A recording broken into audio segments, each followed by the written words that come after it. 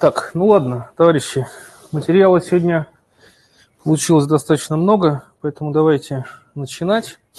Значит, картинка с прошлой лекции.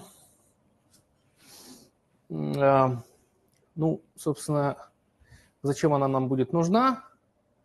Вот у нас биты Алисы, вот у нас биты Боба, вот связь, которую мы ввели на позапрошлой лекции – Значит, вот у нас процедура исправления ошибок. И вот, собственно, то самое наблюдение Z-Евы, которое мы э, сегодня продолжим и, я надеюсь, закончим анализировать. Но э, просто, чтобы нам далеко не отклоняться от э, технической реальности, значит, вот мы будем пытаться оценить вот это вот вот этот параметр L. То есть мы как бы считаем, что Алиса отправляет сколько-то, а в данном случае L бит, а, и, соответственно, вот из этих L бит мы хотим получить секретный ключ, ну, ключ, для которого можно показать эпсилон, секретность более строго, а, и правильно говорить, а, длиной 256 бит. Реальность техническая, она вообще говоря, отличается от вот этой картинки, потому что, как вы, наверное, знаете, ситуация у нас следующая. Вот у нас есть достаточно длинная последовательность, которую Алиса отправляет в сторону Боба, ну, например, 10 в 6 отстрелов. Проблемы у нас начинаются уже при передаче в канал, то есть э, в зависимости от длины канала у нас доходит, вообще говоря, малая доля э, битов. То есть вот это действие Алиса, вот это то, что долетело, долетело до Боба, Значит, дальше. Боб исправил ошибки, и вот еще совпали базисы, то есть еще в два раза короче. Вот, чтобы было понятно, что эти вещи в два раза отличаются. И реально вот это последовательность длины L. То есть обо всем, что над ней, я вам вообще ничего не говорю, но об этом будет подробно говорить Иван Сучев. То есть Э, вот из тех результатов, которые мы получим сегодня, а мы получим там при Кубере 3%, значит, или там что-то около 800, э, не надо понимать, что вот это реальная система. Реальная система устроена вот таким образом, то есть у нас первичных отстрелов около 10 в 6, значит, э, мы получаем из них ну, например, 10 тысяч, э, то есть сжимаем 100 раз из-за всех этих наших проблем с каналом э, чистки ошибок, и после этого, чтобы получить из вот этого так называемого сырого ключа длиной порядка 10 тысяч бит наш, собственно, требуемый Epsilon секретный ключ длиной 256 бит, мы производим еще процедуру усиления секретности, то есть э, реально у нас вот из этих L, которые ну, порядка 10 четвертый бит, получается ключик К, который уже 256 бит ровно. Так, ну, собственно, теперь возвращаемся к тому... Ключ, который изначально а, вот этот, это какой? Нет, в итоге э, этот ключ э, а, к Алисе и Бобу не имеет вообще никакого практического отношения. Они его выработали э, и отдают потребителям. Сама Алиса и Боб ничего не шифруют. Их задача выработать этот ключ и кому-то отдать. Вот они его выработали, вот этот ключ К, и кому-то отдали. А, кому отдали и зачем? Ну, значит, если все-таки состоится у нас вторая часть этого курса в следующем семестре, ну, я обязательно поподробнее расскажу, кому и зачем. обмене криптографической информации две стороны, раз шифровый, значит, отдать нужно так или иначе нескольким да нет, ну тут, э, тут все очень, очень, очень просто. Значит, я эту картинку уже много раз рисовал, но раз вопрос возник, то нарисую еще раз. Вот Алиса, вот Боб. К ним подключены СКЗИ. Ну, если так более удобно, то можете называть их шифраторами. Вот стороны, которые шифруют. Здесь идет по некоторым, вообще говоря, разным законам выработка ключа. То есть весь вот этот этаж нужен, чтобы выработать один общий ключ К.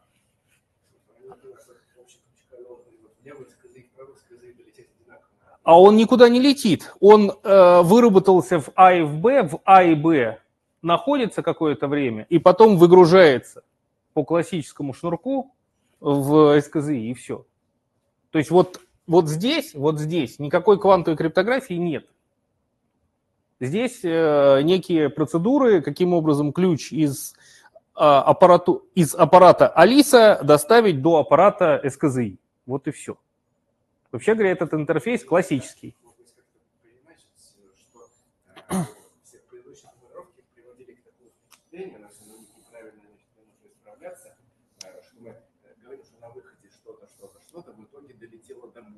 Все правильно. Все правильно. Все, все правильно. Сейчас, сейчас, сейчас, сейчас, сейчас, сейчас. Все, еще раз. Вы спрашиваете, вы спрашиваете, э, что делать с ключом. Я вам говорю, ключ надо отдать куда-то. Вообще говоря, Алисе и Бобу не очень важно куда. То есть в определенном смысле это проблемы потребителя. Как у Алисы и Боба этот ключ запросить, как его получить. И проблемы вот здесь, на входной части интерфейса выгрузки ключа, э, понять, что этот ключ пришел оттуда, откуда надо и так далее. В этом смысле аппарат Алисы и Боба должен быть максимально глупым, насколько это возможно.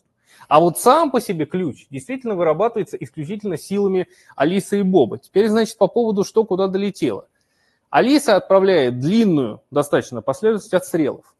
Боб, во-первых, ну, точнее так. Часть бит, существенная часть бит, теряется из-за того, что у нас э, э, шумный канал всегда. То есть в зависимости от расстояния у нас плохо эти самые биты долетают чисто физически вот до суда. Дальше. Э, еще часть битов теряется за счет того, что здесь не бывает идеального э, как бы аппарата приема этот аппарат приема тоже допускает какие-то ошибки. И в коммерческих системах э, только там, например, каждый десятый, а иногда и каждый двадцатый э, долетевший бит э, принимается как, ну, вообще долетевший. Все остальное отбраковывается. Дальше Боб с тем, что получил, э, выполняет чистку ошибок, потому что Алиса, вообще говоря, вместе с этой последовательностью еще отправляет тот самый синдром, но вот это у меня на картинке было.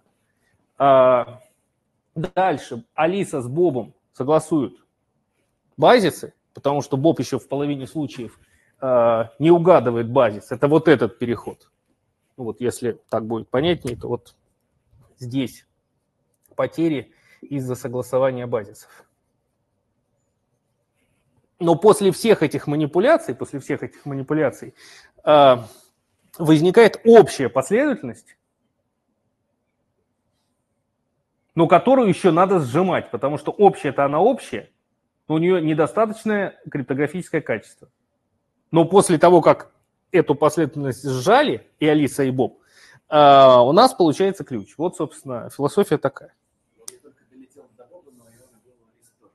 Ну, конечно, он был у Алисы. У Али... Алиса вообще как бы источник всего. Алиса как бы знает об этой системе все. Проблема в том, что Боб э, знает не все, потому что до него что-то не долетело, а что-то долетевшее он не смог э, детектировать. А потом еще все это долетело с ошибками, и ему пришлось э, ошибки эти исправлять. Э, и к тому же при измерениях он в половине случаев не угадывает правильный измерительный прибор, ну, измерительный в широком смысле. То есть не тот, который детектор, а тот... Да. Сначала я думал, что это все изначально получено ключака, а потом э, все разговоры привели к тому, что я начал сомневаться в правильности этого. Нет, ни в коем случае. Основная цель...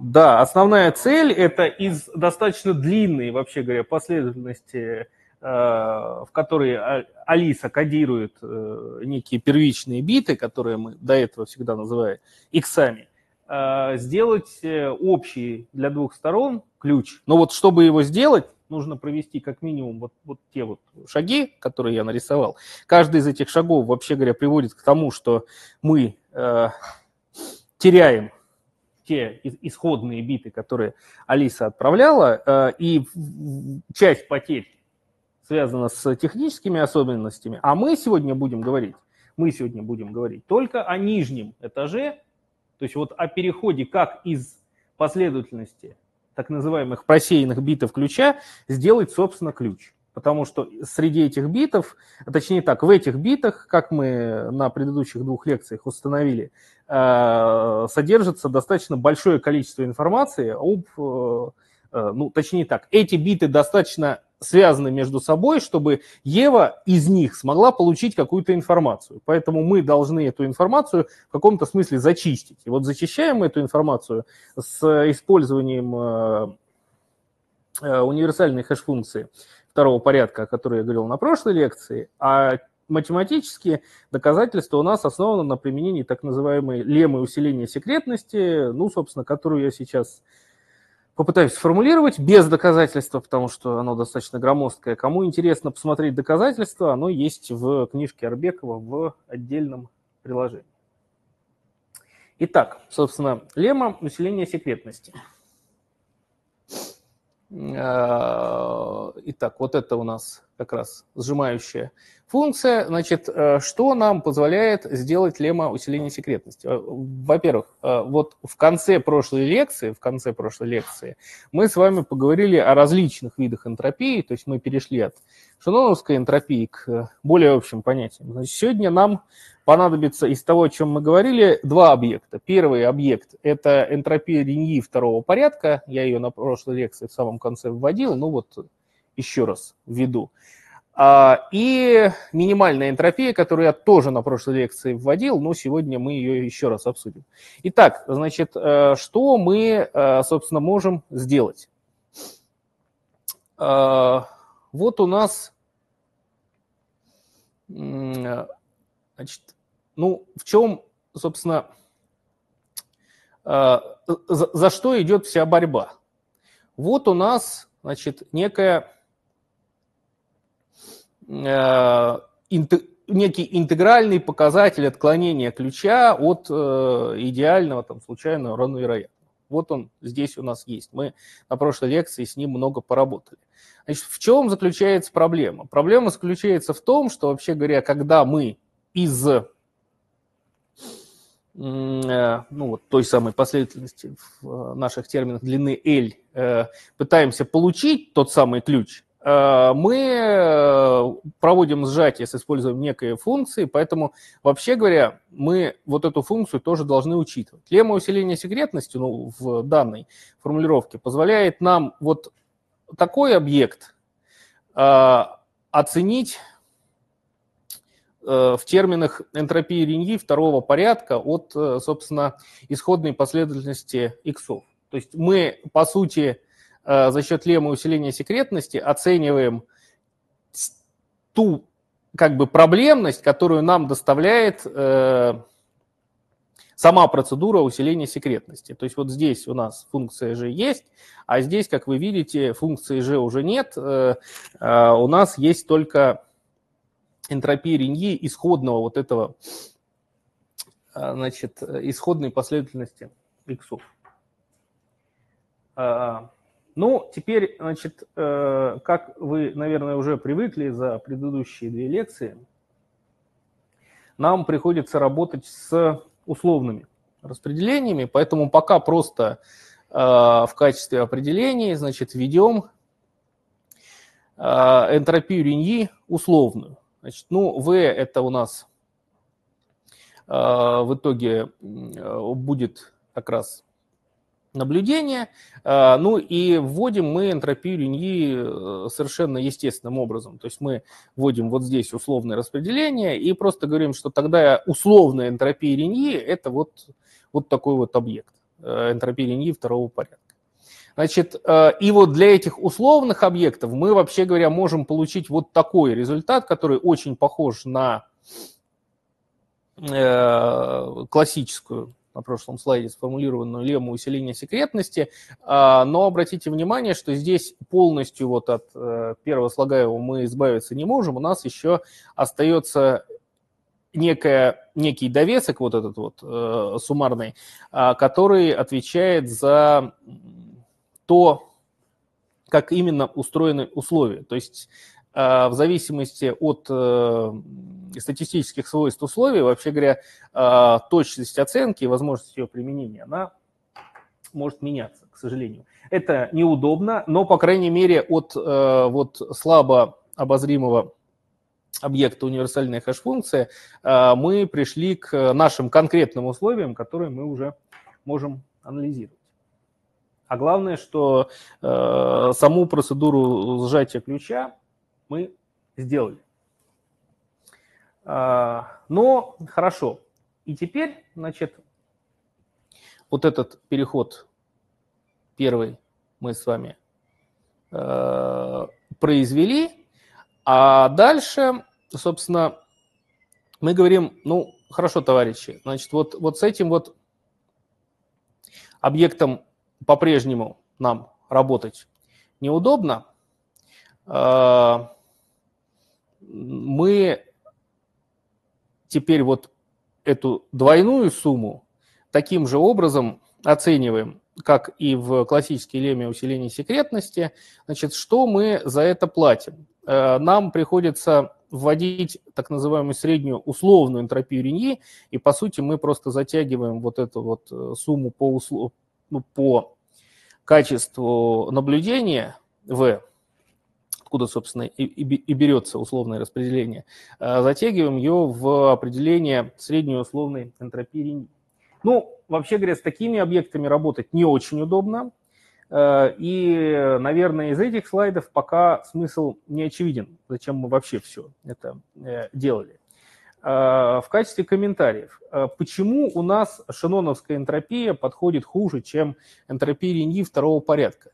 Объяснение совершенно банальные. Вот здесь вот, вот здесь вот, при оценке вот такой суммы, мы пользуемся э, ну, как, каким-то из вариантов неравенства Каши. И в этом неравенстве вот здесь, вот под этим корнем, просто естественным образом возникает квадрат.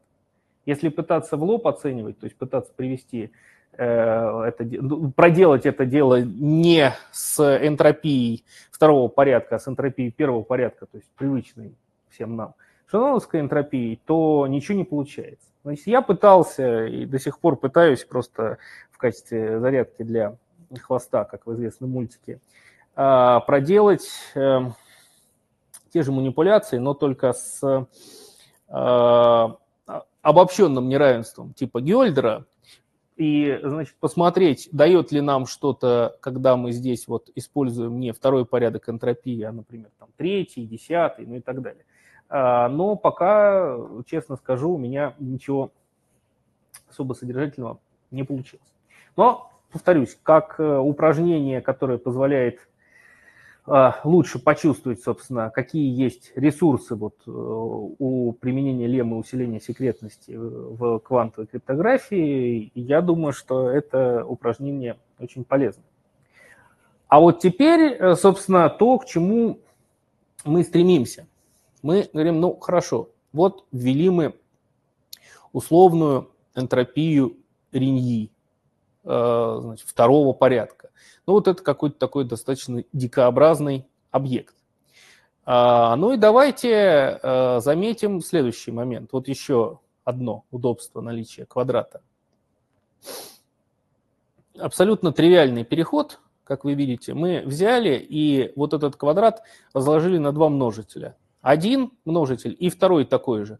Но так как нам нужна оценка, мы берем вот эту вещь и оцениваем по максимуму. И тогда, и тогда мы получаем уже гораздо более содержательную вещь, а именно мы говорим, что э, вот это все, вот этот достаточно сложный для анализа объект сводится к э, так называемой минимальной условной энтропии, э, значит, э, ну, определение ее. Вот оно. Вот оно, по сути, мы сначала получили результат, а потом его же обозвали минимальной энтропией, если так удобнее для понимания. А, и, собственно, вот за счет вот этого перехода мы э, вообще избавились от э, э, таких вот сложных сумм, потому что вот эта минимальная энтропия – это просто взятие двух максимумов.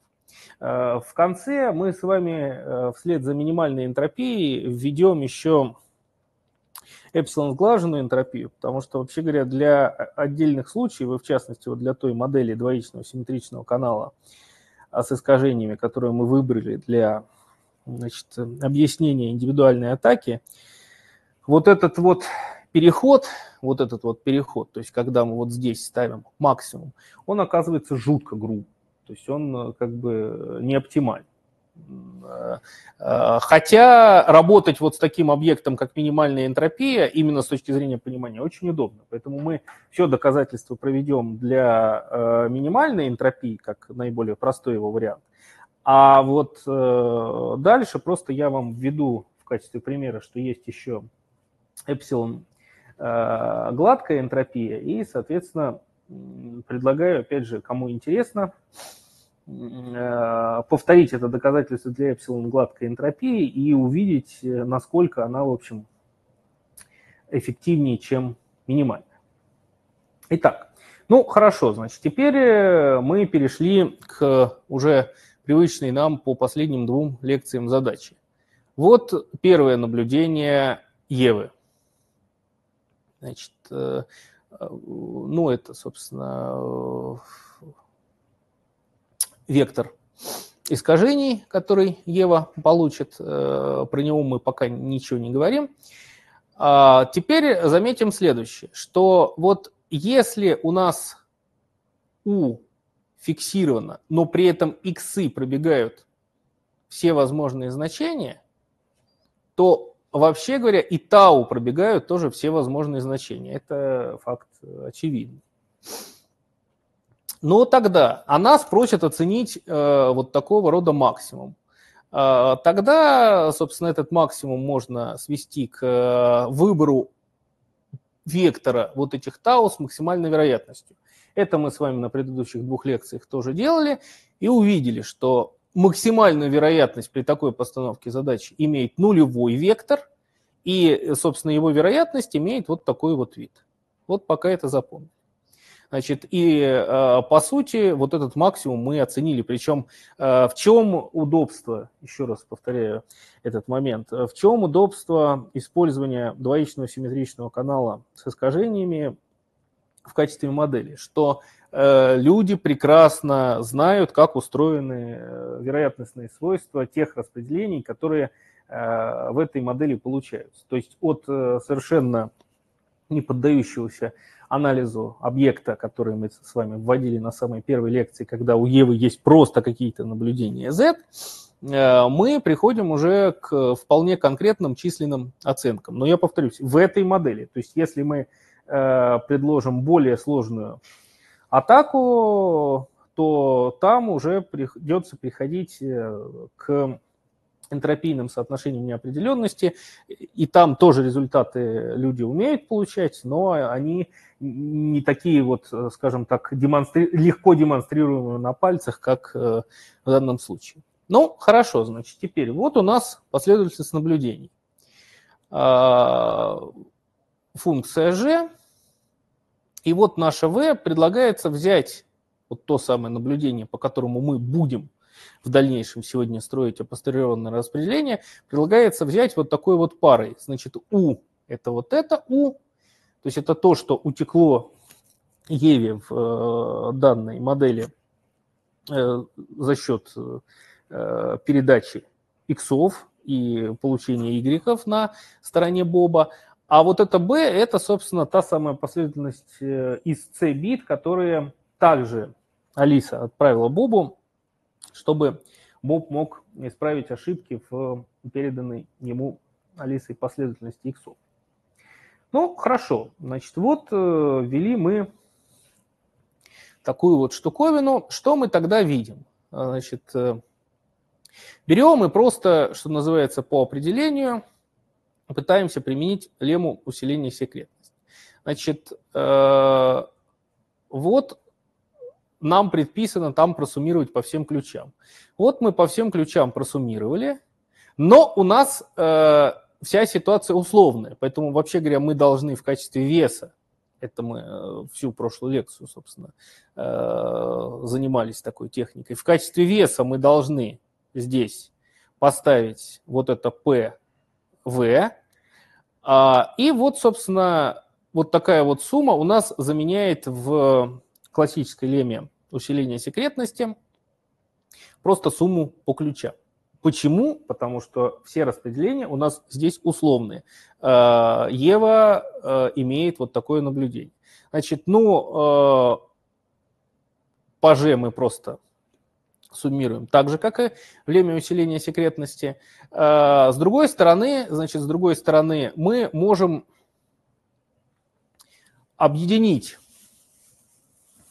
э, вот все, все эти условия в наблюдение Z, которое на самом деле вот, вот, вот оно такой вид имеет. Попытаться просуммировать по этим наблюдениям, э, ну и тогда у нас будет уже совсем привычный вид, э, полностью идентичный классической леме усиления секретности. Но тогда, но тогда, еще раз, что нам предписывает э, лема усиления секретности. Она нам говорит, товарищи, значит, э, вот, плохо, конечно, что я все это не собрал в одно место. Значит, вот, товарищи, вот у вас такая сумма, вот у вас такая сумма, которую вы должны оценить. А на выходе после, ну, в общем-то, достаточно понятных и э, классических Э, преобразований из области математики, вы получаете вот такой результат. Но что с этим объектом делать, вот с этой вот условной средней энтропией Реньи второго порядка, мы не знаем. Ну так хорошо, товарищи, давайте еще этот результат упростим, а повторюсь, в данном случае э, достаточно сильно огрубим. И давайте мы вот эту, вот эту теперь энтропию Реньи условную второго порядка оценим через э, минимальную энтропию, тоже условную, вот она, соответственно, у нас введена. Но вот эту минимальную условную энтропию мы уже умеем оценивать. Вот она. Оценка минимальной условной энтропии. Все.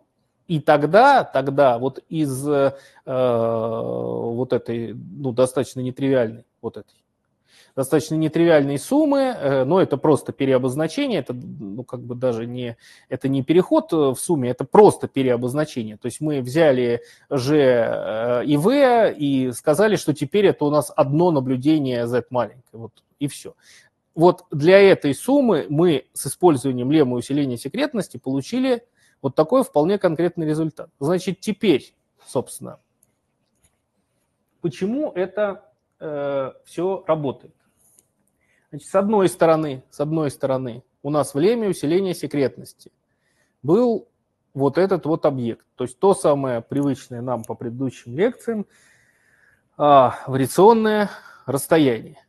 Наша задача его э, сделать как можно меньше, ну, нулевым, как мы с вами уже видели на предыдущих трех лекциях, его сделать практически невозможно, потому что какую-то информацию Ева у нас получает из канала всегда – а, но зато значит, э, его можно ограничить какой-то маленькой величиной эпсилон.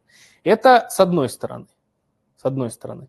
С другой стороны, с другой стороны, мы можем в качестве оценки вот для того самого э, вариационного расстояния по леме усиления секретности, я, значит, возвращаюсь, возвращаюсь в начало. Вот у нас вариационное расстояние.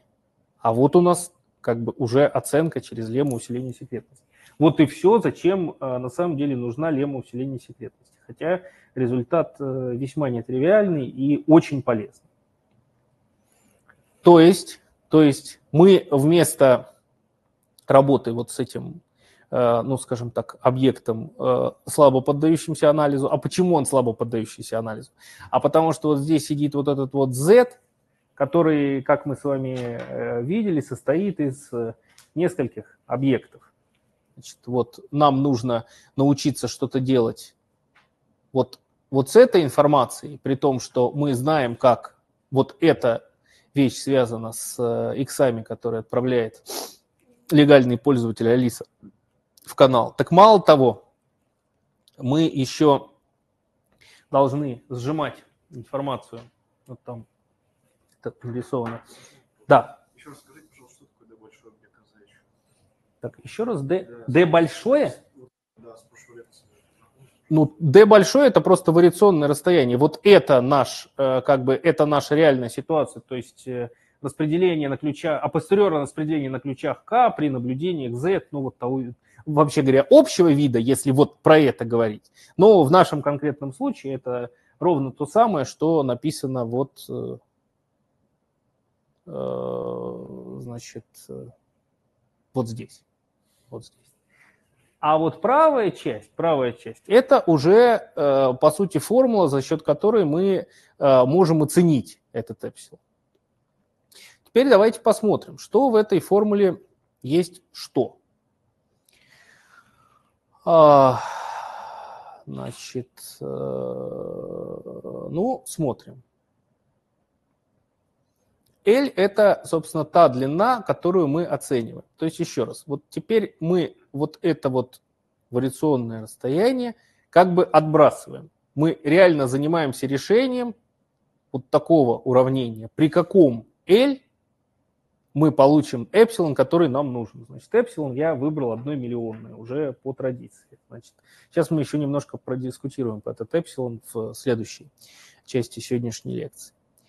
А, то есть, то есть, по сути дела, э, ну, как бы наш результат получен вот из этого уравнения, вот из этого уравнения, если мы зафиксируем, э, а мы знаем, как Q Евы вот она, связана с кубером. Вот мы фиксируем кубера, предполагаем, что кубер просто у нас измерен штатными средствами в аппарате.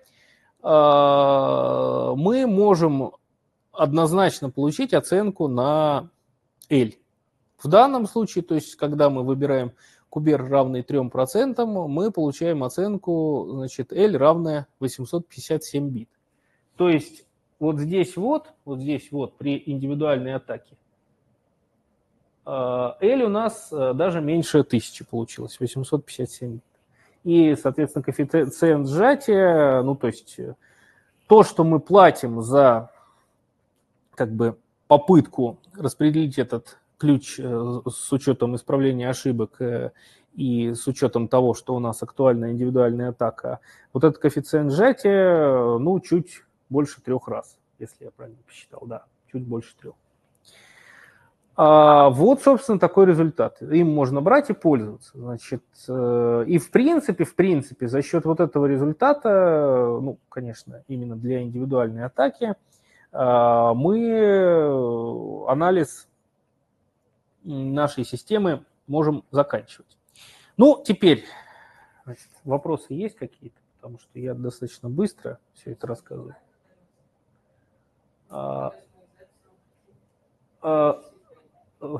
Ну, ну, давайте вот как-то, наверное, самое время продиску, подискутировать по поводу этого эпсилона.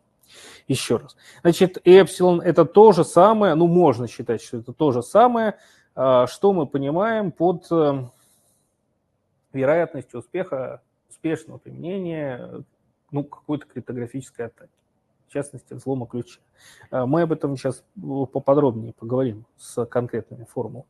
Значит, э, если мы берем эпсилон слишком большим, то, ну, например, говорим, что это одна вторая, то в половине случаев нашу систему взломают. Ну, интуитивно понятно, что это как бы какая-то странная система. Хотя, возможно, она кого-то устраивает. То есть кто-то из промышленности, скажем так, этот эпсилон задается в ТЗ на конкретную систему. То есть если кто-то там считает, что его устраивает вероятность взлома его системы одна вторая, и он эту систему, ну, там, я не знаю, хочет сделать и даже готов продать, потому что я в первую очередь здесь про коммерческие системы говорю, а, то, что называется, на здоровье. Если у него на такой системе есть покупатели, то мы берем и говорим этим покупателям, что в каждом втором случае вас поломают. Значит, э, если мы возьмем Epsilon каким-то очень маленьким, ну вот э, у нас на прошлой лекции, по-моему, был пример, э, когда мы Epsilon берем 1 миллиардная, а при этом опасное событие – это взлом какого-то университета. Ну, тогда понятно, что так как у нас университетов существенно меньше на планете, чем миллиард, то эта система не взламывает. Ну, то есть вероятность того, что она будет ну, там, за, за всю историю взломана хотя бы раз, но она ничтожная. В этом смысле э, как бы средства защиты кажутся завышенными. Если мы туда в качестве эпсилона поставим вообще какую-то очень маленькую величину, ну, там, я не знаю, 2 в минус 128 у меня будет чуть дальше такой пример, а, то интуитивно кажется просто бессмысленным такое завышение как бы, степени защиты системы, потому что у нас э, будет, э, ну а, слишком часто мы будем принимать решение, что система нестойкая, когда никакой практической опасности, вот эта вероятность 2 минус 128 представлять не может. Ну, то есть у нас нет в реальной жизни тех объектов, которых можно набрать 2 в 128 и, и для них э, осуществить для каждого попытку нашего взлома. Вот, собственно, из каких соображений выбирается Epsilon. Ну, я видел такие оценки, да. Бывает, э, берут одну сотую, бывает, берут одну тысячную, бывает, берут э, одну десятитысячную. Ну, вот, э, ну, это какая-то степень десятки, значит, степень двойки отрицательная между, там, ну, соответственно, между минус седьмой и до миллиона, это что у нас? Минус двадцатый. Вот что-то в этом. Духе.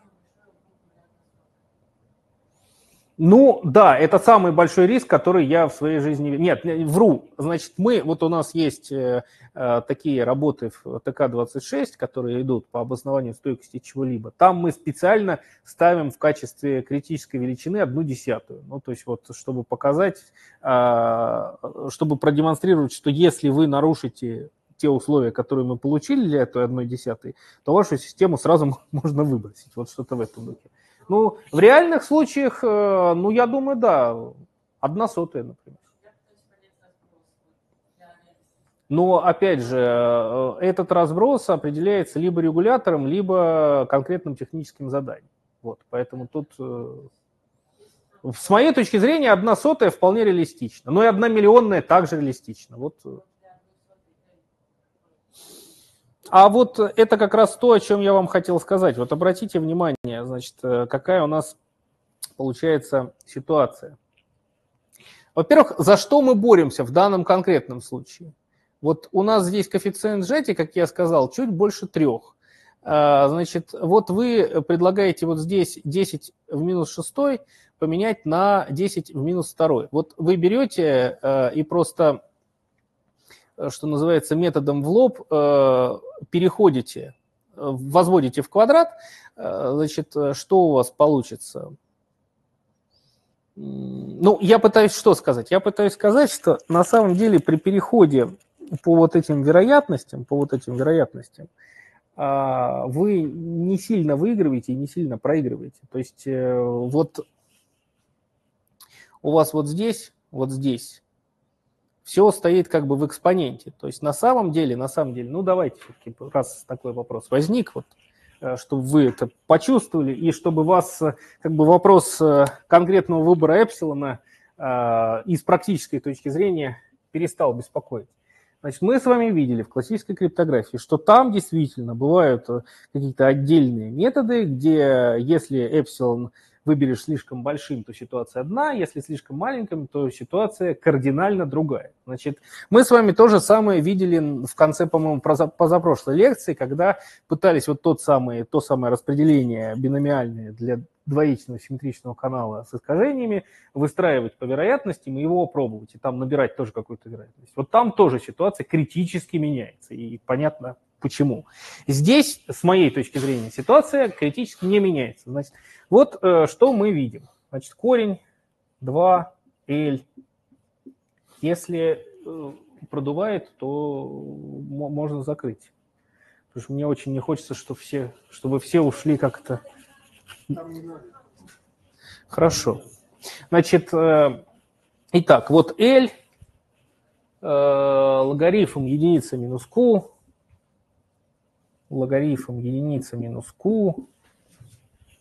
Я, с вашего позволения, Куева не буду писать.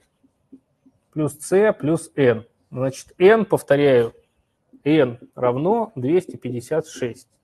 C, ну давайте возьмем, э, э, ну какое мы C можем взять? Ну давайте возьмем 100. C – это э, тот синдром, который мы отправляем, чтобы исправить ошибки. Значит, вот такая вот вещь. И мы говорим, мы говорим, что вот это вот есть минус шестой. Значит, ну, что это означает? Это означает, что 2 в степени L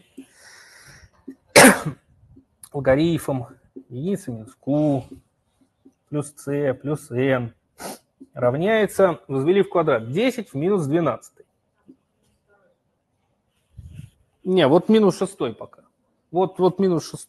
Вот как, как у меня. Значит, э, ну, вы хотите их зачем-то в минус вторую превратить. Вот я попытаюсь показать, что это не приводит э, ну, ни, ни, ни к какой катастрофе, ни в какую сторону. То есть нам от этого не становится существенно лучше, но существенно хуже тоже стать не может. Значит, хорошо. Вот такая вот вещь. А теперь, э, как вы можете решать это уравнение? Только взяв логарифм. Логарифм в данном случае двоичный. Вот вы взяли здесь логарифм двоичный.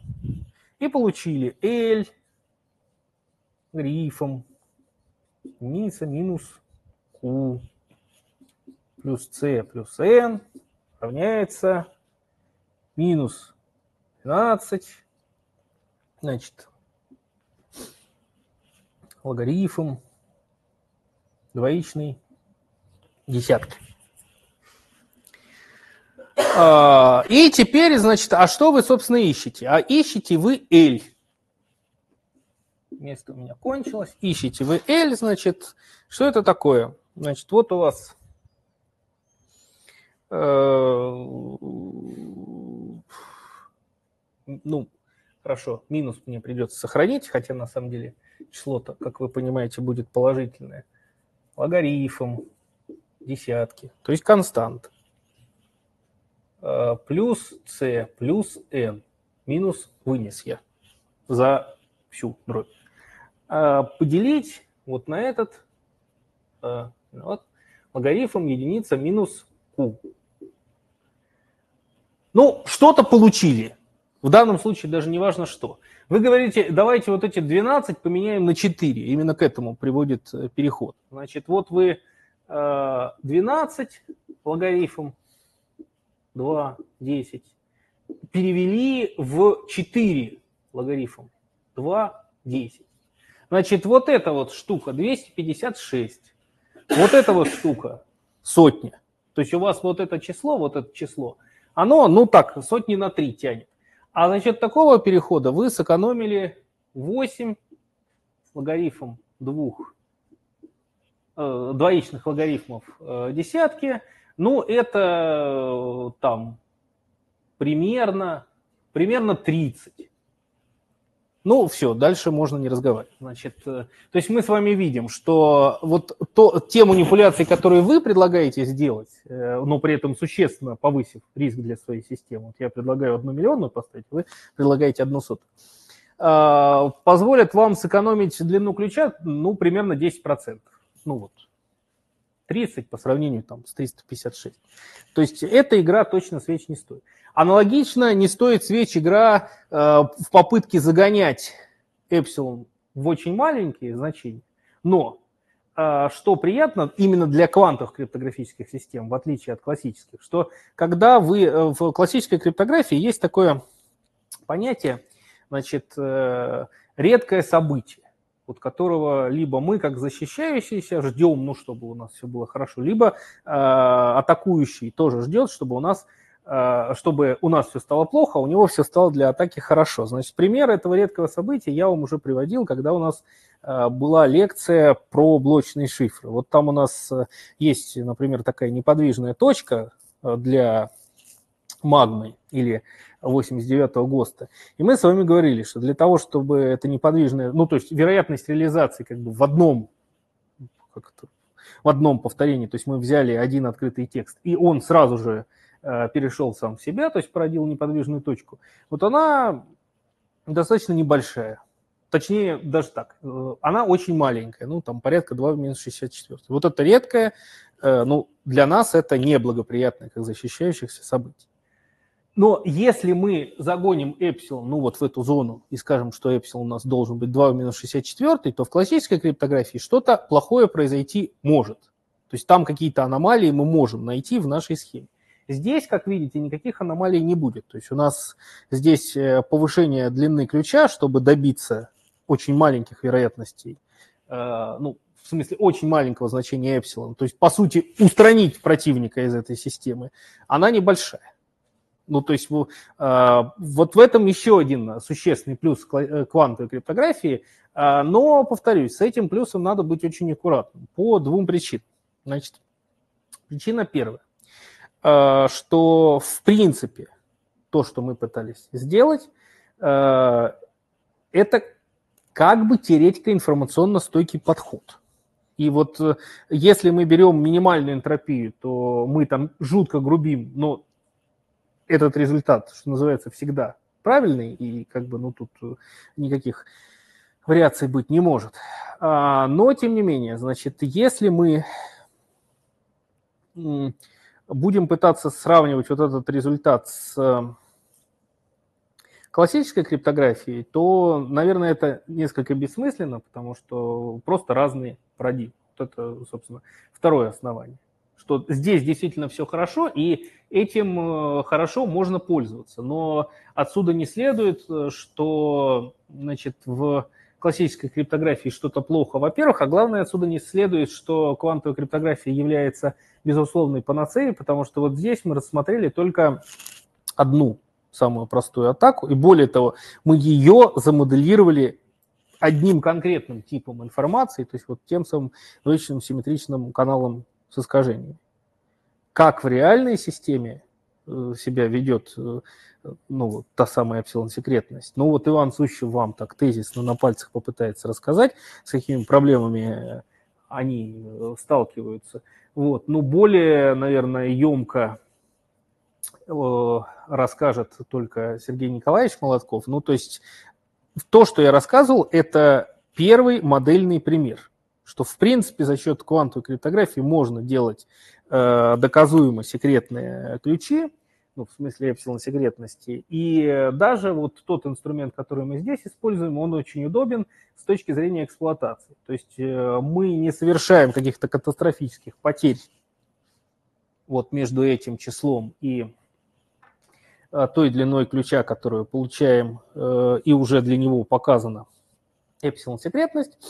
И с другой стороны, формула, которая связывает длину ключа с вероятностью наступления проблем в нашей системе, а, вот эта формула, она обладает таким свойством, что за счет э, как уменьшения, так и увеличения этой вероятности на каких-то адекватных пределах, э, та длина L, которую нам нужно а, выработать, она, в общем-то, будет примерно одинаковой. Ну, по крайней мере, на порядке отличаться не будет. Но, тем не менее, значит, мне как математику использование минимальной энтропии очень не нравится. Мне кажется, что мы при этом сильно грубим, но люди э, значит, э, эту проблему уже устранили. Значит, что они сказали? Они сказали, ну, товарищи, вот там вот был переход, я вам его уже показывал, поэтому, с вашего позволения, не буду возвращаться э, к тому месту, когда мы из квадрата один сомножитель оставили самим собой, а второй заменили максимум этого же сомножителя. Вот там у нас э, была грубость. Хорошо. Значит, а давайте тогда вот, вот давайте запишем попытаемся записать, по сути, минимальную энтропию, вот она, но только, значит, вот здесь максимум будет браться не по всем возможным ситуациям. А что мы выбрасываем? А мы выбрасываем, мы выбрасываем вот этот вот кусочек. Вот минимальная энтропия соответствует тому, что мы выстроили распределение по невозрастанию вероятности появления ключей. Вот пример значит, такого выстраивания. И говорим, значит, чтобы вот как бы работало вообще для всех случаев жизни, для любого распределения, мы берем и меняем энтропию, значит, э, ну, как бы реальные свойства нашего распределения, вот оно распределение, а, оцениваем через э, минимальную энтропию. То есть берем максимальный элемент. Значит, как это выглядит? Вот что означает оценить э, распределение через минимальную энтропию? Вот вы взяли вот этот элемент, он у вас один. Вот этот уже меньше, вот этот еще меньше, этот там совсем маленький и так далее. Но вы говорите, нет, товарищи, я не хочу заморачиваться всем остальным распределением. Я беру вот этот один элемент и считаю, что у меня все распределение идет вот на таком уровне. То есть вместо реальной вот такой картинки э, вы получаете картинку, которая состоит из э, вот таких вот палочек, которые все одной длины. Так как общая сумма этих палочек э, не может превышать единицу, то как только мы к единице приблизились, то мы говорим, что все, у нас все распределение как бы заполнено вот этими палочками. И вместо реальной картины мы ее меняем существенно меньшим количеством, чем исходное, ну, чем реализация в исходном распределении, существенно меньшим количеством вот этих максимальных палок. А, и мы с вами в конце прошлой лекции как раз видели, э, к чему приводит, а нет, вру, в конце позапрошлой лекции мы с вами видели, собственно, почему для а, биномиального распределения это не очень хорошо делать. Значит, возвращаемся к нашей картинки про биномиальное распределение. А, что мы сказали? Мы сказали, что максимум в этом биномиальном распределении равен единица минус q евы в степени L. И мы все распределение считаем, что вот оно состоит все из одних и тех же элементов. То есть у нас первый, всего у нас элементов всего было, было элементов, было элементов в распределении 2 в степени L штук. И вообще говоря, они все были. То есть у нас может быть как вектор, состоящий из L нулей, вот этот вектор искажений тау, так у нас может быть и вектор, который состоит из всех единиц. Просто вероятность у него крошечная. Вероятность у него будет э, минимально возможная, значит, минимум равен q Евы в степени L.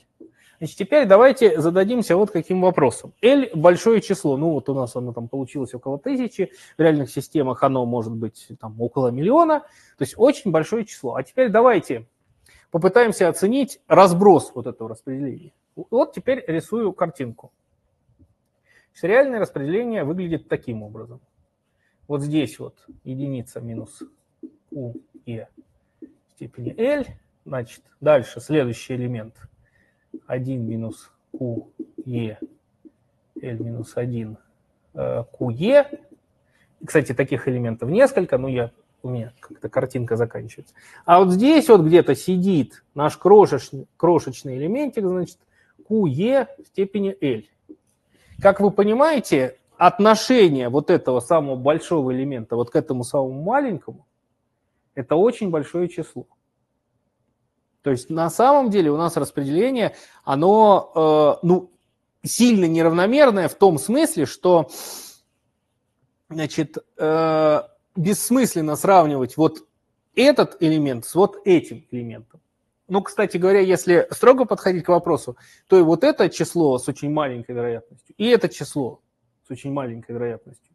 Просто вот эта вероятность, она экспоненциально больше, чем вот это. И в этом наша проблема. Мы не можем себе позволить настолько сильно грубить, чтобы сказать, что вот все распределение мы взяли и сжали до такого. Значит, что это, что означает сжали? Сжали это еще раз показываю. Мы взяли вот здесь и провели точку. Значит, мы сказали, что все элементы у нас вот такие. Э, соответственно, нам нужно этих элементов набрать единица минус QE степени минус L. Ну, пример. Наверное, целая часть плюс 1. Это число большое, Э, не обращайте внимания, что здесь минус l степень, потому что вы минус l степень возводите число сильно меньше единицы, вообще говоря. А, вот, это число очень большое, но тем не менее оно существенно меньше при любых э, адекватных QE, чем 2 в степени L. То есть большое это оно большое, но мы очень сильно нагрубили. Мы должны были анализировать распределение Э, в котором 2 в степени L элементов, а проанализировали распределение, в котором вот столько элементов. И в этом наша грубость. Значит, что нам предписывают э, люди, которые ввели эпсилон гладкую энтропию? Они говорят, ну вот, понимаете, какая ситуация, товарищи? Не нравится нам. Вот, вот с одной стороны, максимум-то он есть, но вот в биномиальном распределении он всего один. А мы взяли и по нему по одному элементу, оценили все там огромное распределение из 2 в степени L элементов. А давайте выбросим неудобный для нас случай. А что означает неудобный? Ну, а вот э, на чем идет вся игра? Значит, мы взяли наше, э, значит, э, вариационное расстояние, пытаемся зажать в ворота между нулем, который недостижим, и каким-то эпсилон, каким-то маленьким числом. Ну, замечательно. Давайте нагрубим перед применением наших формул. Давайте скажем, что вот, вот с вероятностью эпсилон, с вероятностью эпсилон, у нас произошло событие плохое, при котором оценка у нас плохая. И вот этот эпсилон мы сразу загоним ну, в, остаток, что называется.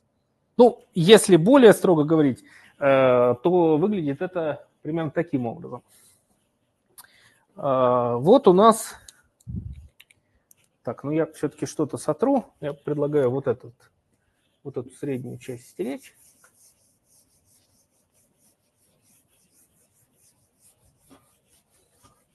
Значит, вот у нас какой-то объект.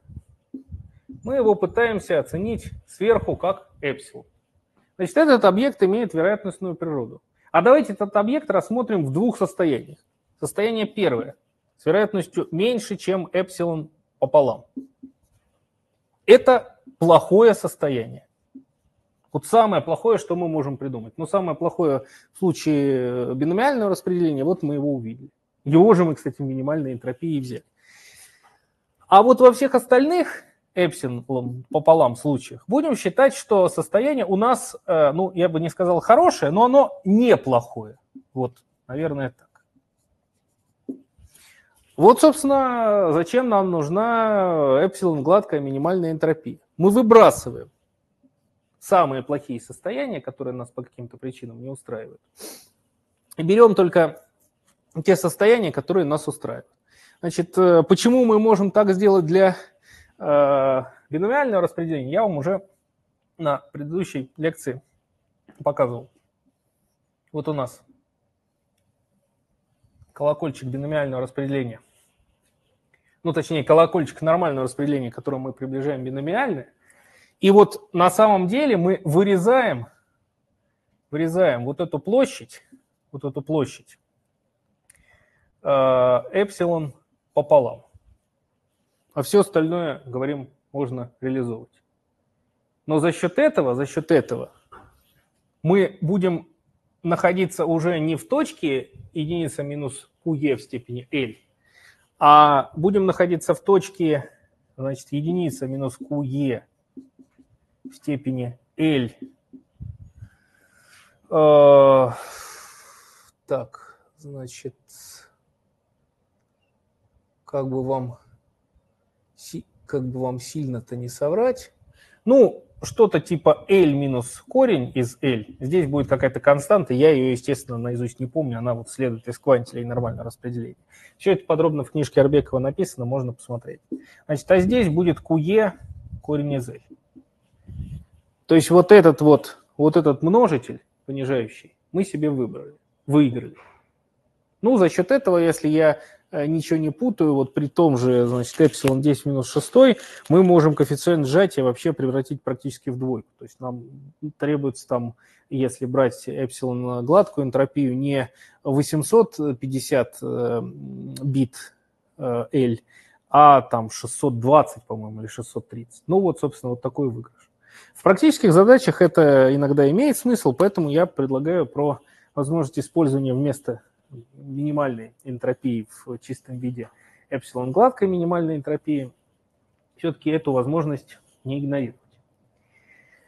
Так, значит, осталось у нас полчаса. Давайте все-таки поговорим теперь о, о финальной части прикладных э, задач, а именно, ну, хорошо, мы понимаем, как выполнить критерии эпсилон секретности. Мы даже понимаем, чего нам стоит с э, точки зрения техники э, получение эпсилон, доказано эпсилон секретного ключа нужной нам длины 256 бит. Вот. То есть какую нам исходную последовательность надо распределить, какой длины. А, но теперь что же нам делать? Значит, давайте вернемся к самой первой нашей лекции в разделе квантовая криптография. А, там мы с вами обсуждали так называемую практическую системность, э, практическую секретность криптосистем. Значит, э, ну, средний объем работы, это я вам все говорил. Значит, ну, теперь давайте вспомним. Единица объема работы – это так называемое одно опробование ключа. Что такое опробование ключа? Об этом мы с вами тоже говорили на Э, лекциях по классической криптографии. Значит, вообще говоря, вообще говоря, вы получили, допустим, вы получили вот такое распределение ключей. Вот у вас один ключ вот с такой вероятностью, следующий ключ вот с такой вероятностью, ну и с какими-то там вероятностями у вас эти ключи получились. Но получили и получили. Теперь у меня к вам вопрос, чисто философский. А что вы будете делать с этими ключами?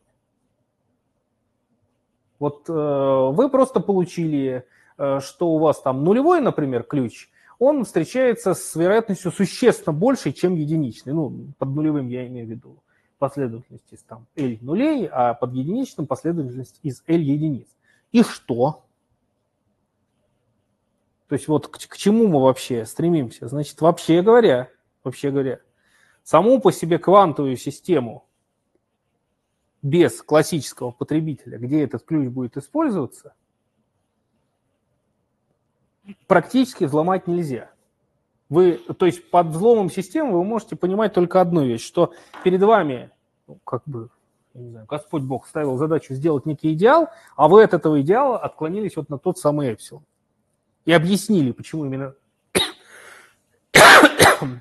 почему именно на эпсилон и, собственно, на этом остановились. Но если у вас те последовательности, которые вы выработали, эпсилон секретные, не будут использованы, собственно, как ключи, то есть они не попадут в конкретный шифратор, и на них ничего не зашифруется, то узнать их истинное значение вы не сможете, потому что у вас нет того объекта, а именно пары открытый текст, шифр текст, а как мы с вами говорили, для э, конкретных шифров есть такое понятие расстояния единственности, то есть нескольких пар открытый текст, шифр текст, получив которые и зная, что они зашифрованы на вот этом конкретном ключе, эпсилон секретном, который вы вытащили, а точнее э, даже легальная аппаратура вытащила из э, квантовой системы распределения ключей, вот только после попытки значит, проверить ваш ключ на вот этом наборе открытых текстов и шифр текстов,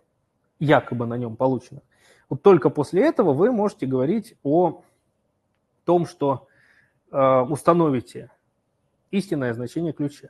Вот, собственно, я вам предлагаю, еще раз, правда, повторяюсь, э, за единицу объема взять то самое опробование. Значит, ну давайте будем считать, что опробование это у нас а, вот у вас есть одна пара открытий текст, шифр-текст, неважно какого шифра, но все-таки какого-то шифра, вы знаете, что этот шифр получил ключ из э, нашей с вами системы квантового распределения ключей, э, и вот э, противник, зная вероятностные свойства, проистекающие из эпсилон секретности ключа, начинает опробование в том смысле, что берет открытый текст, который получен из канала, зашифров... пытается его зашифровать на каком-то ключе, получает шифр-текст и сравнивает. Вот это опробование.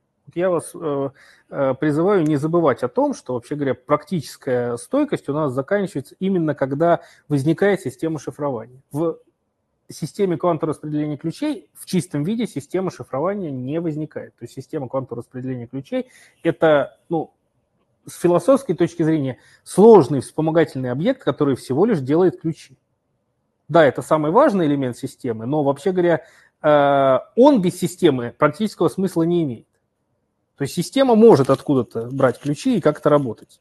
А вот сама, э, само квантовое распределение ключей без конкретной системы защиты информации в виде шифраторов смысла практического не имеет.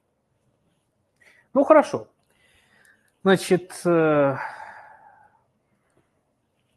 вот у нас последовательность ключей наблюдений, по которым мы, э, опять же, повторяюсь, построили вот такое условное распределение. А, и теперь, значит, откуда, собственно, у нас берется средний объем работы? По-моему, мы даже с вами на прошлой лекции это объясня... обсуждали без формул, ну вот теперь с формулами. Значит, какой смысл можно придать тому факту, что вероятность успеха нашего метода равна какому-то числу. Но у нас до этого был эпсилон. Сейчас как-то по традиции классической криптографии пусть это будет π. Здесь мы его даже обозначаем πa. Какой смысл можно вообще придать вот этой вероятности? То есть вам говорят, значит, э, вероятность того, что вашу систему взломают, э, одна миллионная. И что? Вот что делать с этой информацией? Ну, единственное естественное предложение – это то, которое мы с вами несколько минут назад обсудили. Ну, давайте будем считать, что у нас есть либо Т-систем, таких вот мы их взяли, поставили Т-штук рядом, а, либо хотя бы мы в рамках работы одной системы пытаемся а, Т раз а, вскрыть, э, ну, предполагаем, что разные ключи. То есть вот мы запустили один раз наш алгоритм с вероятностью π нарушителя, у нас не получилось. Запустили в следующий раз с вероятностью π нарушителя, у нас опять не получилось. Но если мы запустим э, этот процесс очень много раз, то рано или поздно у нас наконец-то получится. Вот, собственно, весь смысл среднего. И тогда, и тогда вот мы затрачиваем каждый раз какое-то количество опробований. Какое-то количество опробований. Для того, чтобы повысить себе вероятность. А практическую секретность мы просто воспринимаем как частное вот этих двух объектов. То есть вот для того, чтобы придать хоть какой-то практический смысл тезису о том, что на реализацию алгоритма там, с маленькой вероятностью успеха мы затрачиваем какое-то количество ресурсов в виде тех самых опробований, мы просто искусственно пред, предполагаем, что вот этот механизм с практической секретностью Q от А, а мы запустили какое-то большое количество раз, чтобы у нас, вообще говоря, был шанс получить хотя бы один успех. А, ну, хорошо. Значит, э, теперь тотальное опробование я не буду э, еще раз э, повторяться. Значит, для тотального опробования у нас есть вот вот такой вот результат. То есть у нас практическая секретность Q, она порядка n пополам.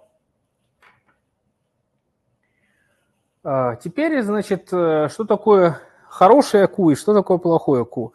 Опять же, подробно не буду повторяться, этот пример был.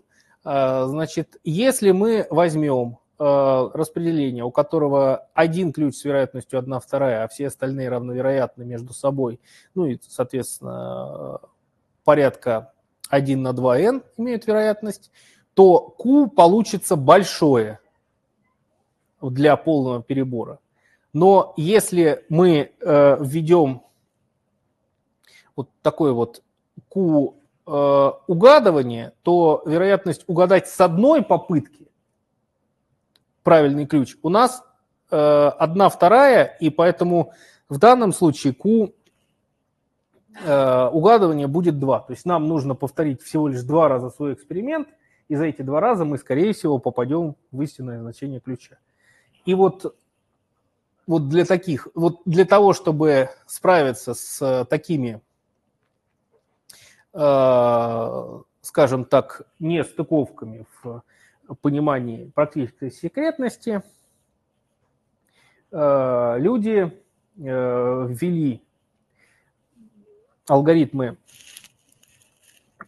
усеченного опробования. Что это такое, сейчас поговорим. Ну, давайте еще один пример, прежде чем мы начали говорить. Это вот то, о чем я как раз в ответ на вопрос, какой эпсилон выбирать, уже сказал, что а, мы можем, конечно, искусственно загнать наш эпсилон, э, ну или в данном случае π, в какое-то очень маленькое значение, а, но тогда у нас э, практическая секретность для тотального опробования все равно будет большая, но и вообще говоря, э, даже секретность для угадывания – тоже будет большая. А само по себе событие, что у нас э, с вероятностью 2 в минус, 20, 2 в минус 128 что-то не сложилось, мы можем игнорировать. Ну, по объясненным мной уже причинам, что целесообразно в качестве эпсилона или эпсилон для квантовой системы или π для классической выбирать некое число, которое ну, вы можете проверить на практике. То есть если вы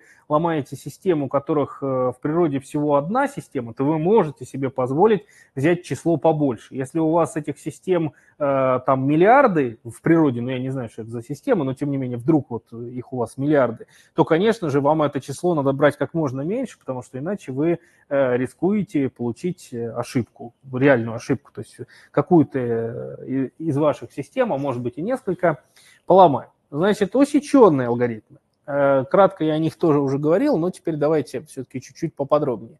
А зачем нам нужны усеченные алгоритмы? Э, потому что, вообще говоря, работая с условными распределениями, э, мы всегда можем апостериорно, апостериорно выстроить ключи по невозрастанию вероятностей. Вот пример мы их выстроили. Таких примеров у нас с вами уже э, было много. Значит, э, ну хорошо, выстроили и выстроили. Теперь мы берем и говорим, что вот, товарищи, я вижу, что тотальное опробование – это не очень удобно. С одной стороны, там практическая секретность как бы хороша, а с другой стороны, я могу упустить э, тот пример, когда у нас э, есть э, хотя бы один ключ с большой вероятностью. Значит, прямо противоположный пример, когда мы всю секретность сводим к одному опробованию ключа, тоже плохо, потому что ну, мы то есть в одном случае мы можем пропустить критическую уязвимость системы, а в другом случае мы, конечно, критическую уязвимость не пропустим, но мы забракуем слишком много систем, которые вообще говоря, хороши с практической точки зрения, а мы, тем не менее, по одному, по одной попытке угадывания придем к выводу, что они плохие. Что же делать? А, тогда давайте мы все-таки а, введем ту самую вероятность успеха и будем пытаться набрать вот этих ключей просто на данную вероятность. Естественно, опробуя от первого ну, до, до какого-то, пока у нас вероятность не наберется. Значит, ну вот здесь, э, здесь, собственно, то, что я сказал, и написано, что если мы, если мы вводим э, параметр вероятностью успеха усеченного алгоритма U, у нас остается все тот же средний объем работы. В каком смысле средний, я вам попытался объяснить. Значит, у нас э, в качестве мерила, то есть в качестве того самого интегрального критерия стойкости системы выступает э, практическая секретность в том же виде. Значит, в чем разница? Разница только в том, что мы опробуем не все ключи, но и не один из них, а какой-то конкретный, но в данном случае это большой ключей, до тех пор, пока не наберем нужную нам вероятность. Как только мы эту вероятность набрали, мы говорим, все, стоп, алгоритм можно дальше не использовать, а, мы уже достигли некого критического значения конкретно для нашей системы. И обычно вот это критическое значение это и есть наш эпсилон или э, пи э, нарушителя. Значит, ну вот здесь есть еще вот такой объект PM с крышкой, он нам в самом конце понадобится. Я ну, не, не знаю, насколько просто его запомнить, вот как он выглядит. Я просто предлагаю, если кто-то будет э, этим, э, а, а, вот, вот, вот таким объектом интересоваться, просто PM э, там брать и переписывать по формуле. Но суть того, что это такое, она очень понятная. Значит, это вот что такое. Вот у нас для каждого наблюдения, вообще говоря, вот эти вот эти ключи, вот эти KM, Z от Z, они будут выстроены каким-то э, своим способом. То есть, например, мы получили наблюдение, ну вот на примере там, наших э, этих всех э, X и Y, мы получили наблюдение, э, в котором все биты э, искажений нулевые. Э, вот у этого наблюдения будет одна последовательность выстроенных по вероятностям ключей. Значит, но если мы получили другую последовательность э, э, битов шума, так называемый вектор шума, ну или вектор искажений, то вообще говоря, последовательность э, ключей будет уже другая. То есть ключ, который равен нулю, он, например, находился в первом случае на первом месте, ну или нулевом, если хотите считать с нуля, а во втором случае окажется на каком-нибудь десятом. И вот это PM как раз является такой своеобразной индикаторной функции, она говорит, что вот мы взяли, зафиксировали конкретный ключ э, шифрования, и у нас вот этот, мы оцениваем, с какой вероятностью конкретно этот ключ шифрования будет находиться на конкретном месте M в нашем ряду. Вот и все. А, значит, ну, хорошо. Усеченные алгоритмы.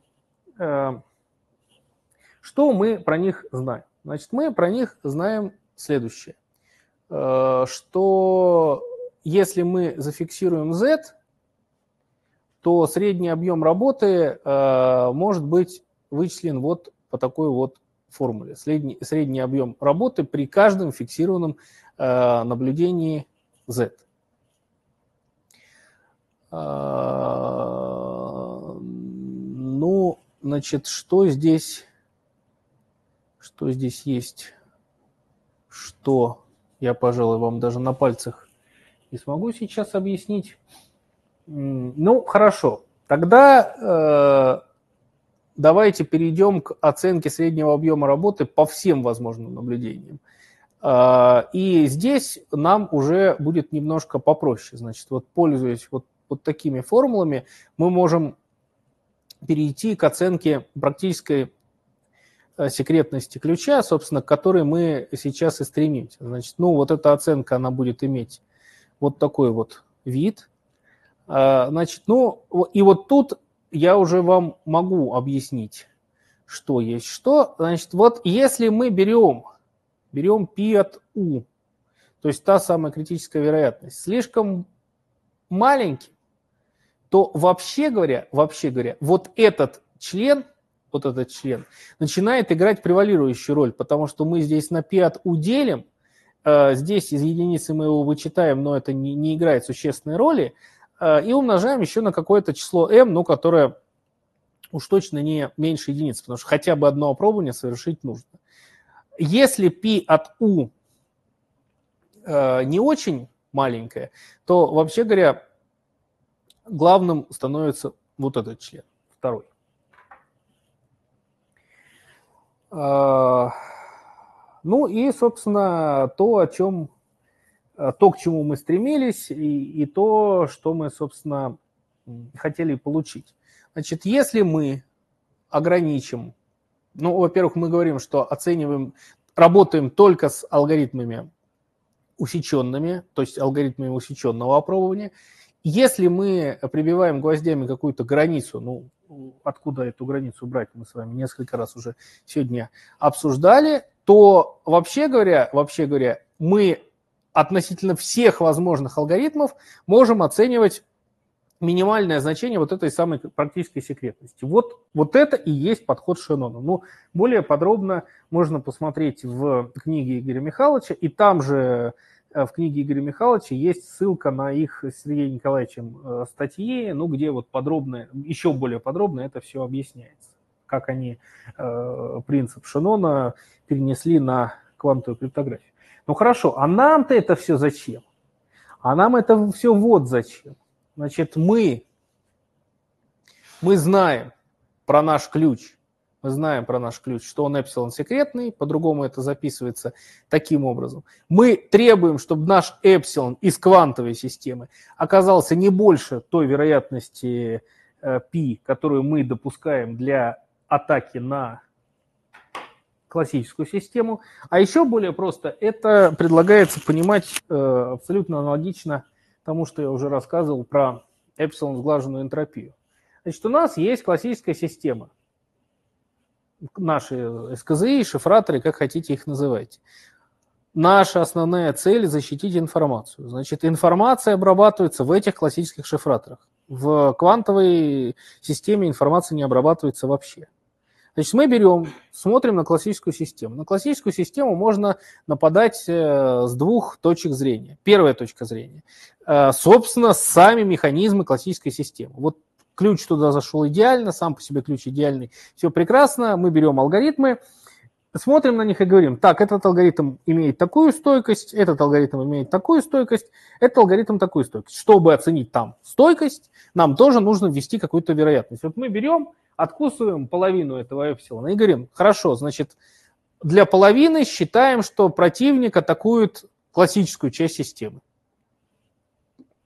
И у него это должно не получиться для второй половины берем и говорим, нет, товарищи, мы еще знаем, что, вообще говоря, у нас ключ, он получается из квантовой системы, у него там какие-то свойства есть, нарушитель может и туда атаковать. Вторую половину отдаем э, нарушителю на попытки атаки квантовой части нашей системы, ну, как источника ключей.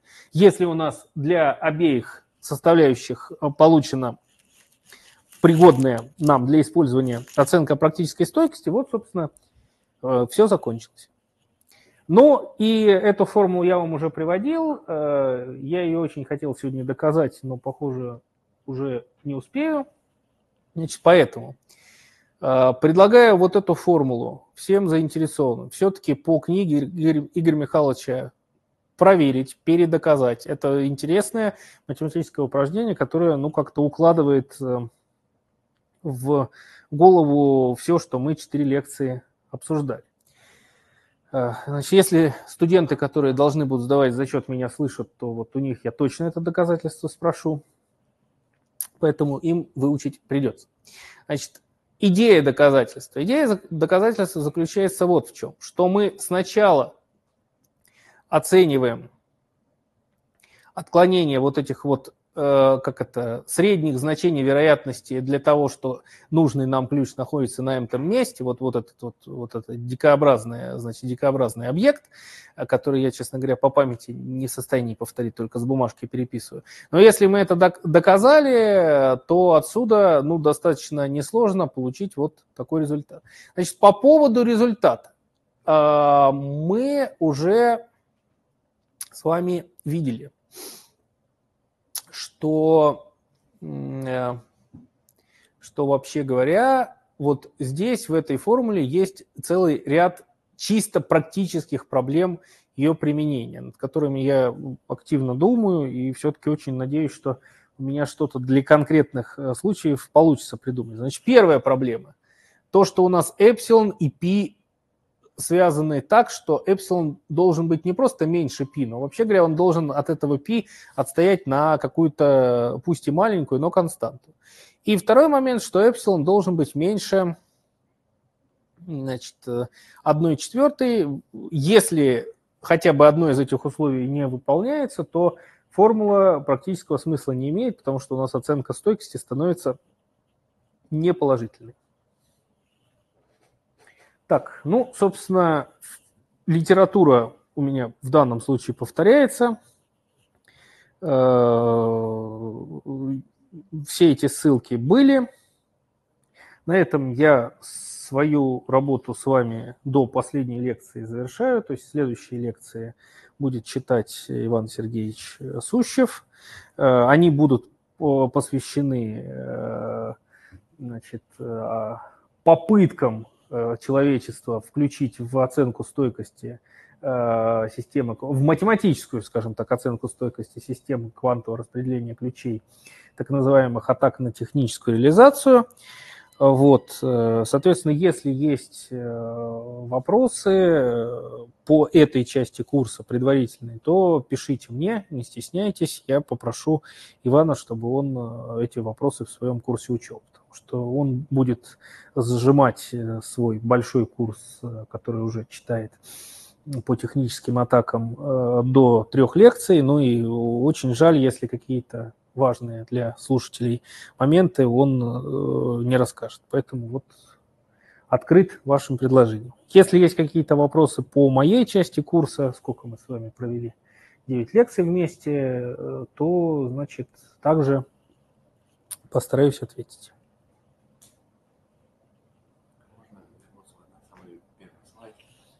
Так, на, на, на самый первый, это в смысле на первую лекцию, да? Первый слайд это лекции, но он уже много раз был. Так, э, самый первый слайд этой лекции. Он много раз был. Картинка, да? да вот это. Вот. Так. Вот просто я, когда не, отвлекаясь, не продолжал вопрос. Вот этот вот К256 бит, который вот там внизу вот эти вот цепочки, которые вот на доске да. да. Вот уже истерли. А вот здесь вот, э, где оно ну там, если не знаю, прорисованы вот эти фактические шифраторы, да. где, оно, где он у Боба и где вот он у Алисы. Ну, и по этой картинке его увидеть невозможно, потому что мы с вами всего лишь э, э нарисовали, чтобы не загромождать. Э, то есть у них же есть еще вот, вот здесь вот недорисован э, э, тот самый аутентик, ну вот, вот хорошо здесь. Вот здесь должен быть так называемый аутентик аутентифицированный классический канал, по которому они обмениваются, э, значит, э, некой информацией, чтобы помочь Бобу правильно восстановить э, свои измерительные базисы. Вот. И кроме этого, кроме этого, здесь еще чего у нас нет? Но все остальное, пожалуй, есть. То есть не дорисован только аутентифицированный служебный канал. А ключ К, который, ну вот, получен после всех манипуляций, о которых мы четыре лекции говорим, он просто, ну вот, э, мы применили к так называемому просеянному ключу, то есть вот этой вот последовательности длины L, которая в случае индивидуальной атаки получилась вот там 800 с копейками, и если взять эпсилон гладкую энтропию, то там можно сделать 600 с копейками. Значит, э, и э, применив лемму усиления секретности, э, виноват, э, применив э, э, хэш-функцию, универсальную хэш-функцию второго порядка, э, мы просто из вот этих вот 800 бит э, получили 256. Вот и все. Тут то, функция хэширования. И у нас на обеих концах, э, на, на, виноват, на двух концах, э, у нас просто этот ключ как бы хранится. То есть нашей основной целью было э, распределить вот эту вот последовательность длины L, а когда мы ее распределили, то сжать из нее – это некая техническая манипуляция. Но так как при этой технической манипуляции мы тоже как бы совершаем некие потери, то мы эти потери обязаны учесть. То есть Ева как бы не, не должна из э, вот этой вот последовательности L получить слишком много информации. Вот поэтому, ну, вот, собственно, так. А сам по себе ключка, ну, повторюсь, он просто физически э, независимо на двух устройствах получается сжатие. Все, вот, вот все. Хорошо, тогда еще более э, тривиальный вопрос. Какая из либо же не одна из них, а какая-то еще, какая из нарисованных вот, вот условных сущностей э, выходит из той сущности, которая называется вот ГСЧ обозначена? Э, а, ГСЧ, из ГСЧ выходит, э, Ну, если совсем банально, то вот как раз 10 в 6 отстрелов формируется с использованием ГСЧ. И потом на левой стороне и направо независимо каналу. Ну, не совсем независимо. Значит, отправителем всегда является Алиса. То есть она генерирует эти случайные числа и отстреливает. Поэтому у нее на борту должен стоять хороший датчик случайных чисел. Боб – это только приемник. Вот. Ну вот, э, то есть э, в этом смысле как бы все взаимодействия идут как бы слева направо, если вы говорите именно про случайные числа. То есть случайные числа, они нужны для того, чтобы Алиса что-то отправила Бобу. Бобу они не нужны. Так, э, не знаю, ответил на вопрос, не ответил, но если не ответил, то... Получается, что эти в итоге, что вот эти вот L-бит, получается, и слева и справа обладают обе, и Алиса и Боб ими обладают. Ну, а, а, Алиса и Боб ими обладают по той банальной причине, которую нам дает э, квантовая природа вот этого канала, что э, вот здесь-то эти биты получаются классическими, но перед отправкой Алиса их э, как бы превращает в э, ну, квантовое состояние, я, может, сейчас говорю не, не очень грамотно, но суть в этом. То есть, если бы мы пытались вот эти X1, XL передать по классическому шнурку в, э, ну, в обычном электрическом виде, то, конечно же, практи... ну, смысла в этом с точки зрения защиты информации никакого не было, потому что противник э, проник бы в этот э, канал и все оттуда забрал себе. В, опти... ну, в смысле, в квантовый канал так проникнуть нельзя. Вот на этом все и держится. То есть, что мы можем себе позволить, как бы природа нам дала возможность закрытым от э, противника способом передать эти L-бит э, отсюда сюда. Но мы при этом совершаем такие огромные ошибки, вот здесь, вот здесь и вот здесь, что на самом деле из переданных, ну, из попытки передать 10 в 6 бит, в итоге получаем нужного качества только 256. Вот это мы платим за э, передачу в канал но зато мы действительно честно передаем в канал э, те биты, которые хотим. Вот. А в классическом мире это просто невозможно. Ну, то есть возможно, конечно, но э, никакой защите информации говорить не приходится. Вот. Так.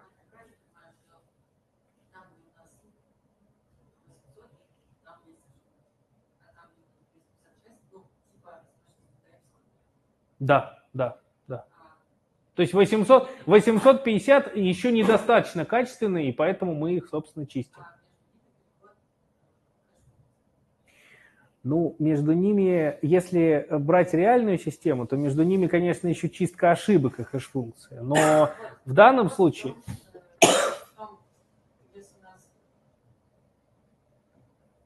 Так. Вот ты не поверишь, я перед выходом к вам задал ровно этот вопрос Игорю Михайловичу Арбекову. Игорь Михайлович посидел, подумал пять минут, э, позвал оптиков, мы все вместе, в пятером там или около того, подумали и сказали, да бог с ним, как это. Вот это модельный случай, вот на полном серьезе. То есть а, насколько это сильно связано с оценкой реальной системы, я попрошу Ваню рассказать вот, ну, подробно, именно на уровне техники. Потому что, еще раз, это модель, это модель. То есть мы здесь грубим во многих местах.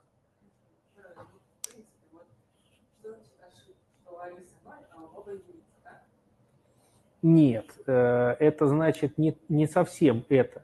Это значит, что мы не знаем, э, какие э, манипуляции... Ну, вот, скажем так, мы получили там 800 общих бит на двух концах. Мы их получили, допустим. Не-не-не, все, забудь вот про этот кубьер, забудь про куевы, вот все, нет никаких трех ошибочных процентов. Канал идеальный, все, вот 800 э, бит получили. Но мы их получали по тем законам, которые описаны выше. В частности, вот ну, в той модели, как, которая там двоичный симметричный канал с искажением. Только в этом смысле мы взяли к этим битам, полученным ну, неким неидеальным способом, применили Э, процедуру усиления секретности в виде значит, универсальной хэш-функции второго порядка. И вот только в этом смысле мы э, последовательность сжали. тот факт, что мы где-то там исправляем ошибки, тот факт, что сама последовательность не долетает, я в этой лекции полностью игнорировал. Это они уже смогли, э, да, уже, уже базисы согласовались, у них все у них хорошо.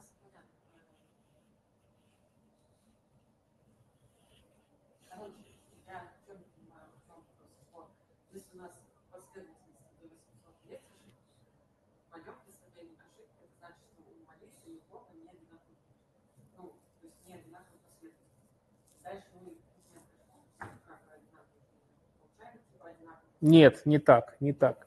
Э, мы сначала получаем одинаковую последовательность исправлением ошибок, а потом, так как эта э, одинаковая последовательность была получена с помощью некого математического закона, который Еве известен, и который Ева гипотетически может использовать для атаки, то мы еще вот эту неидеальную последовательность засовываем в хэш-функцию. Да, да, да, да.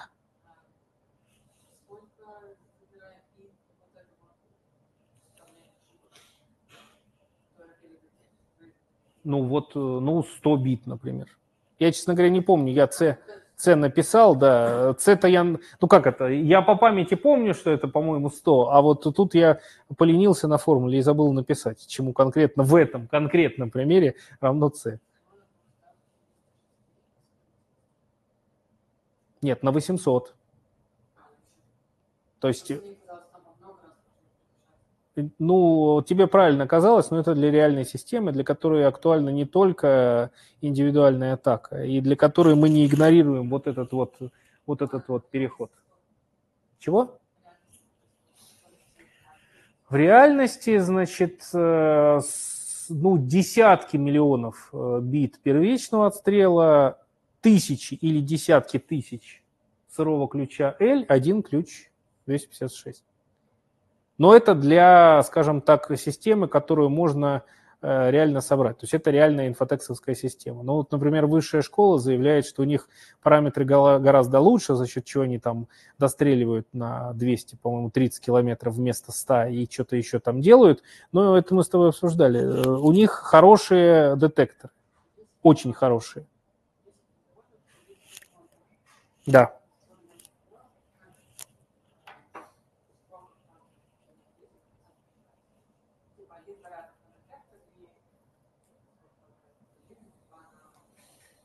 Ну, Надь, это ты лучше меня посчитаешь как-то. Все эти формулы у тебя есть. Вот те реальные данные, которые у меня в голове есть по памяти, я тебе озвучил. Что примерно из 10 миллионов э, первичных бит с промежуточными примерно от 1000 до 10 тысяч э, бит сырого ключа мы делаем один квантовый ключ, стойкий ко всем атакам, которые нашей лаборатории известны. Все.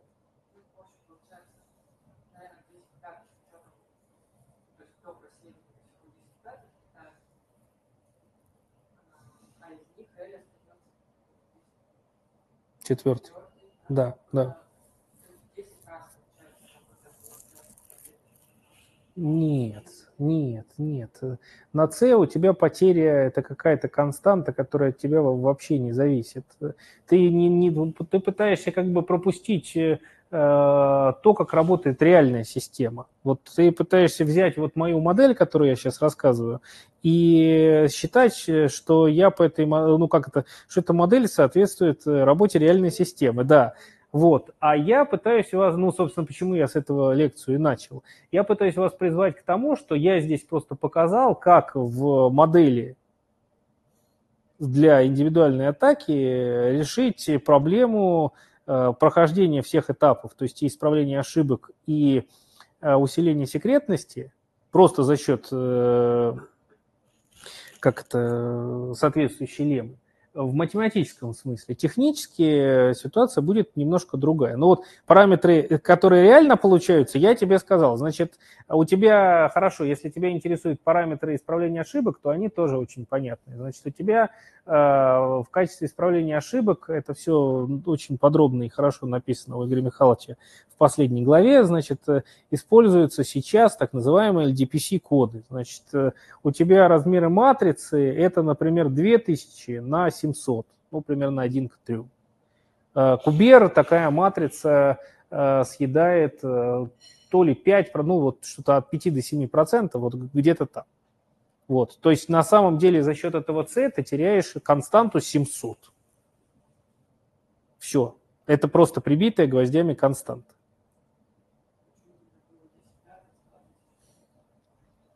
Потому что, я повторяюсь, ты у тебя есть потери в канале, потери на детекторе и потери на оценке, которую ты получаешь при сжатии. То есть как бы эти потери в разы возникают не из-за кода.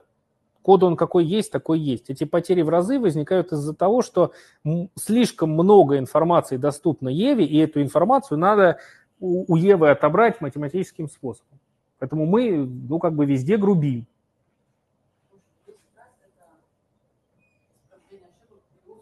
Э, может считать, что в 10 раз это усиление секретности.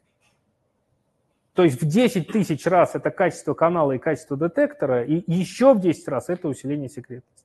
Вот так будет правильно.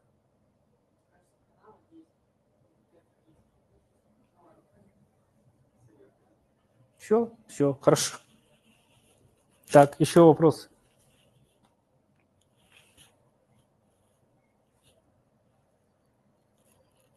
Так, ну, если вопросов нет, я предлагаю на сегодня закончить. Если все-таки вопросы будут, еще раз.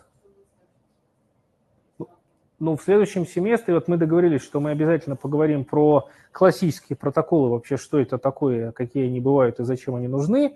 Я, видимо, не сам, а попрошу своих более э, компетентных коллег рассказать, какие сейчас есть подходы к обоснованию стойкости э, классических протоколов. Я бы лично хотел проговорить про датчики случайных чисел, потому что ну, это вещь для квантовой криптографии очень важная. Э, и еще в качестве базового криптомеханизма поговорим об электронных подписях. Вот это то, что пока просматривается вот явным образом. То, о чем мы уже поговорили, и то, что кажется важным. Жду вопросов, предложений. Легко. Это было моим, как это, то, как работает нынешняя НСПК, так случайно получилось, но это правда. Э, я анализировал на испытательном сроке. Вот как, когда пришел, значит, в Infotex, тогда еще в Infotex работать, э, то у меня первый проект был это анализ протоколов взаимодействия, ну, карты с чем-либо. Там, на самом деле, в этой системе много разных э, подсистем, банковской карты, я имею в виду, с чем-либо. Вот. Но если вам конкретно это интересно, я за там, половину лекции могу на пальцах, принеся какую-нибудь картинку на слайде, рассказать, как это работает. Вот. Ну, я не знаю, зачем вам это для квантовой криптографии может быть полезно, но как э, пример протокола, просто я сейчас объясню, почему я не очень хочу об этом говорить, потому что стейк протокола НСПК – это что-то типа десятка протоколов. Все они технические, криптографии там вот, вот на чуть-чуть, а чтобы докопаться до криптографии, вам надо будет проглотить всю вот эту философию построения информационной системы банковской. То, как там один объект зависит от другого, как они защищаются, а в основном защищаются они организационно-технически. Но если вам по каким-то причинам это интересно, я готов это рассказать. Это вещь известная, хорошо проработанная. И более того, я ей сам занимался, продолжаю заниматься. Ну, пишите, пишите хотелки, все, кто, кто желает. Те, кто в онлайне, если меня слышат, тоже пишите. Почта моя на каждой лекции есть. Вот. Мы за лето э, ваши пожелания соберем, ну и надеюсь, что в следующем семестре сможем препарировать до там, ну сколько у нас, опять типа 14 лекций, ну вот до 14 лекций. Так, ну что, давайте закончим на сегодня. Спасибо за внимание. Глобальное спасибо за внимание, то есть за, за весь курс. Вот, э, вернусь э, в середине мая на последней лекции.